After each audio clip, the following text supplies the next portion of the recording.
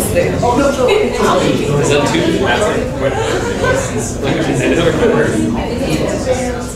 Alright, so there's a new game happening up on the screen. Yeah. So the, so the original inspiration was from Minecraft. We were kind of construct these cubes freely with different textures. And we made it with Kinect. So basically with one hand you can control the position of your character, which is the ball. and with the other hand you can decide whether to create, which is going up, and to delete, which is going down. So yeah, you can see now we are deleting these cubes. Also, you can assign the material to the existing cube like this. Uh-huh. Oh, for when you use this handout, it will always create, but when you use the handout, it will delete. So, it's a little bit hard to select. yeah, sometimes it's confusing.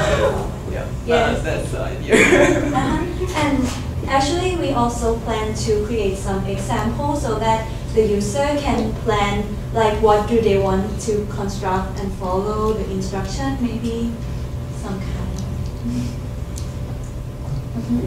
So It looks like you made it so the cubes are on a grid, right? Is that, is Oh. that Yeah. correct? They're not just randomly located? Oh yes, at first we um, have the problem that when the cube is created, it overlap each other. So then we do make it at the position that is integer because our cube have size a unit cube, so it will not overlap anymore.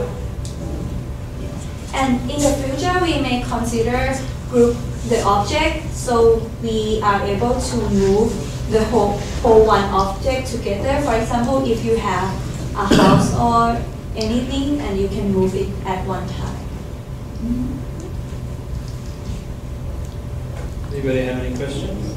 And there's a palette that you can use to recolor the, Oh, yes, The on the other side if you can. And go. Yeah. we have only five color, but we can add more. No, but if you just demo that you can actually Yes. pick different colors. It's a little bit hard to Pictionary, pick. this is gonna be a lot of fun, I would think. Right. Because like it's kind of awkward to draw with, like, you know, that's like one of the best things about Pictionary, is people can't draw. Also, we think that it may be intuitive to use two hands to create an object instead of one hand and use the other like this.